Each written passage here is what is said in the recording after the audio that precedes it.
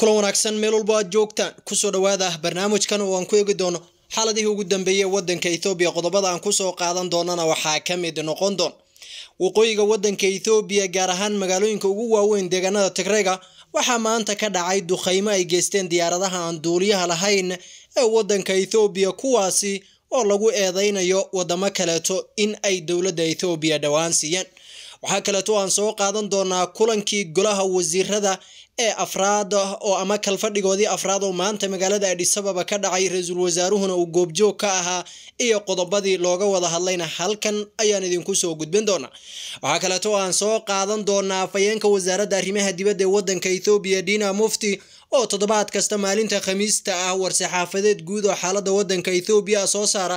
ayaa galabta war-saxaafadeedkiisa waxyaabo kala duwan oo ay ka mid ahayd booqashadii muuse biixi cabdi kulanka soddon iyo shanaad ee midowda afrika toddobaadka soo socda la filayo inuu adhisababa ka furmo iyo qodobo kaleetaba halkaasi kaga hadla kuwaas iyo kuwo kale ayaan ku eegi doonaa deeqadaha soo socda muuqaalkan saaxiibadiina la sii wadaaga. Aan ku bilowne ra'iisul wasaaraha wadanka ethoobiya iyo golihiisa wasiirada oo kulankii afraad ee caadiga ahaa maanta yeeshay kalfadhigoodii ayaa waxay kaga wada hadleen qodobo dhowra oo la xiriiray xaalada guud ee wadanka ethoobiya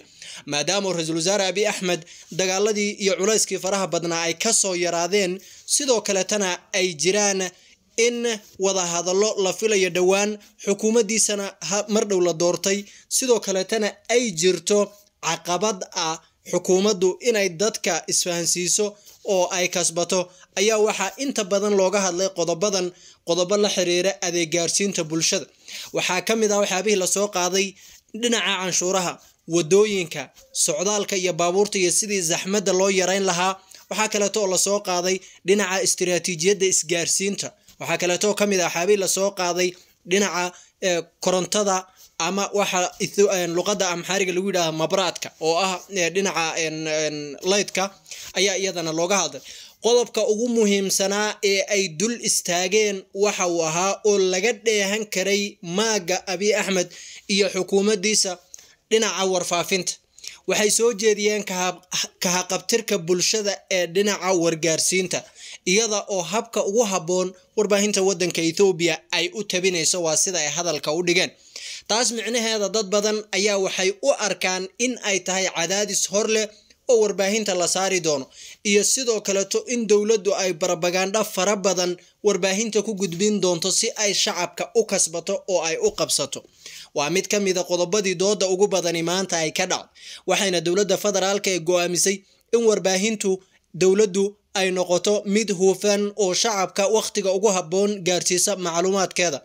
Sidoo kaleeto waxaa lagu sheegay in wararka been abuurka ah iyo barabagandhada ka soo horjeeda hanaanka dowladnimada iyo weliba shuruucda kala duwan ee wadanka ethoobiya in wasaaradda warfaafintu ay arrintaas iyada wax ka qabato. Diiradda waxaa aad loo saaray wasaaradda warfaafinta iyo sidai arrimahaasi wax uga bedeli lahayd qorshayaal muhimana uga qaadan lahayd arrimahaasi iyaga. Dhammaan qodobada laga hadlay maanta oo aad moodo in qodobka sida weyn looga hadlay kaa warfaafinta ahaa waxaad moodaysay in golaha wasiiradu ay xilligan ku doodayaan ama ku doonayeen sidii ay saameyn wadanka qeybihiisa kala duwan ugu yeelan lahaayeen dhinaca warfaafintana loogu bixin lahaa dadaalo dheeri ah si dowladdu ay u noqoto mid macluumaadkeeda garab wada warbaahinta kaleeto ee maxalliga ama tan dibadda ee wararka dowladda inay ka soo horjeedaan laga yaabo mar walba faafinaya dhinaca kaleeto wasiirka afhayeenka wasaaradda arrimaha dibadda ee wadanka ethoobiya dina mufti oo kulan saxaafadeed ku qabtay magaalada adhisababa ayaa waxa uu ka hadlay dhowr qodob oo la xiriiray xaaladda wadanka ethoobiya waxa uu sheegay in wadahadallo laga gaaro xal guud ay soo socdaan. Waxaa kaleeto uu sheegay in xaalka wadanka ethoobiya uu fiican yahay dadaalo kala duwanna dowladdu ay wado. Dhinaca dagaalada ma uusan aad ugu sii dheeraanin mana soo hadal qaadin su'aalo kala duwan oo laga weydiiyeyna ma uusan jawaabo rasmi a ka bixin. Laakiin hadalkiisu waxa uu caddaynaya dagaalada waqooyiga ka socda inay weli taagan yihiin. Iyadoo aad moodo inay is-ilaalin aad u badan ka muuqato shirkiisa jaraa-id ayuu waxa uu ka hadlay qodobo dhowr ahaa oo inta badan uu ka fogaanayay wax keeni kara xiisad ama xamaasad arrimaha wadahadallada iyo socdaalka la filayo dhammaan ku keeni kara diina mufti waxa uu soo hadal qaaday booqashadii madaxweynaha somalilan muuse biixi cabdi. Waxa uuna sheegay in inuu muuse biixi soo booqdo ethoobiya micnaheedu aysan ahayn in somalilan ay aqoonsadeen amaba qorshahoodii wax iska bedelay waxa uuna sheegay in habmaamuuska muuse biixi iyo soo dhoweyntiisa iyo imaatinkiisa adhisababa ayna wax saameyna ku yeelan doonin kuna yeelan karin buu yidhi. Xiriirka annaga iyo dowladda federaalka ee soomaaliya naga dhexeeya sidii uu diina mufti hadalkiisa u dhig diina mufti ayaa waxaa kaleeto oo uu soo qaaday arinta la xiriirta xaaladda waddankiisa gaar ahaan arrimaha amniga. Waxa uuna sheegay in marar badan ay kooxaha argagixisada ah oo t b l f uu qeyb ka dhigay iyo sidoo kaleeto dhinacyo kala duwan oo xumaatada ethoobiya faafinaya ay doonayeen in ay ethoobiya ka dhigaan mid uusan amnigeedu wanaagsanayn. Laakiin waxaa taa been yiri buu yidhi kulanka soddon iyo shanaad ee midowda africa oo toddobaadka soo socda ka furmaya magaalada adhisababa taasi waa mid muujinaysa in ethoobiya naba tahay. Tusinaya xaaladda guud ee waddanka iyo wanaagga ethoobiya tusinaya hogaanka iyo hormuudka ay ethoobiya waddamada qaaradda u tahay iyo urur goboleedka a u. Waxa uu sheegay kadib kulankaasi in ay dhammaan soo gebagaboobi doonaan ethoobiya nabad ma aha. Ethoobiya qalalaase ayaa ka jira. Ethoobiya dagaalo ayaa ka socda ehli ah iyo wararka kaleeto ee dhammaan been abuurka ee nalaga faafinayo. Waa sida uu isagu hadalka u dhigay diina mufti afayeenka afayeenka wasaaradda arrimaha dibadda ee wadanka ethoobiya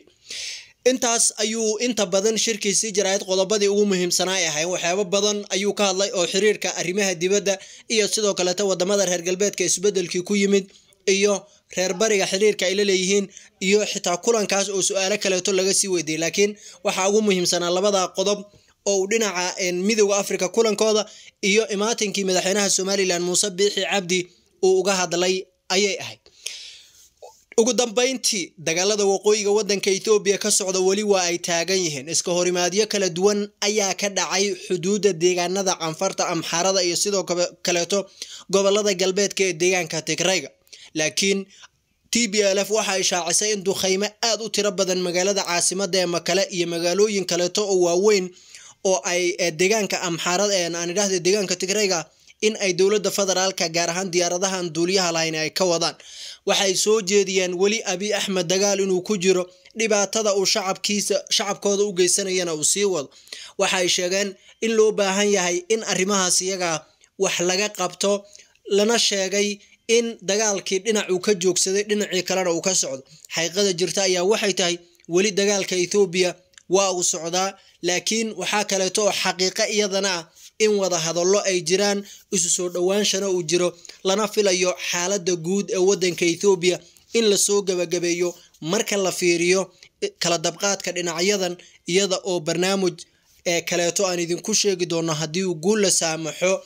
qaramada midoobay xogayaha qaramada antonio guteres oo ka hadlay arrimahan obasanjo oo ah madaxweynihii hore ee nigeria oo isaguna arrimahan ka hadlay. Waxyaabahaasi oo dhan ayaan soo qaadan doonaa oo midowda africa ay u xil saareen mas'uulka ay midowda africa u xil saareen arrimahan qodobadaas bal mar kale ayaan eegi doonaa. Tan iyo kulanti dambe nabadgelyo